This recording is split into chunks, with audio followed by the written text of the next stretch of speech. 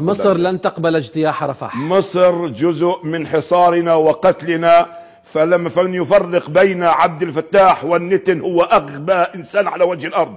عبد الفتاح يحاصرنا عبد الفتاح يقتلنا عبد الفتاح يدمرنا عبد الفتاح يكذب علينا وعلى شعب مصر ويقسم الأيمان تلو الايمان كالأيمان كذبا وزورا وافتراء. نعم إن مصر بقيادة عبد الفتاح جزء من قتلنا جزء من ذبحنا جزء من من حصارنا.